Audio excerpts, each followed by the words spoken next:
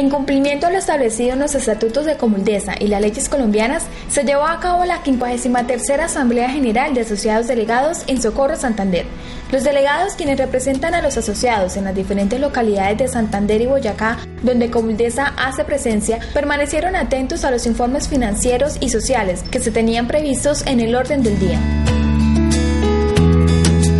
Democráticamente se tomaron algunas decisiones importantes y se eligieron nuevos integrantes del Consejo de Administración y la Junta de Vigilancia.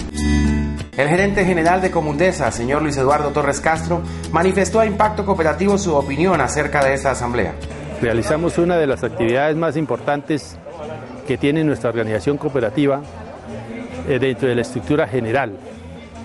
Los resultados eh, finales al 31 de diciembre del año 2012 e igualmente la gestión social que nuestra organización desempeña, desarrolla durante el transcurso del año en aras de nuestra responsabilidad social y empresarial, que como es obvio por ser una entidad de carácter cooperativo y desde luego con un objetivo eh, preponderante en el área social, con sus asociados y la comunidad en general.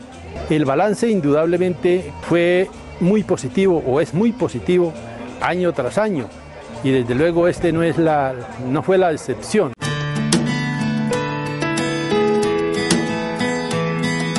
Delegados de Muniquirá propusieron que la próxima asamblea se realizara en el departamento de Boyacá, una propuesta que ellos plantean para que sea tenida en cuenta y Comuldesa fortalezca su presencia en este departamento. La propuesta se fundamenta en que, pues, que también nosotros como boyacenses queremos la presencia de que se haga una asamblea general en, el departamento de Boyacá y por supuesto que sea en la ciudad dulce de Colombia que es Moniquirá. La gerente de Comuldesa Socorro, como anfitriona de la asamblea, destacó el éxito de la reunión y comentó algunos detalles de la organización del evento.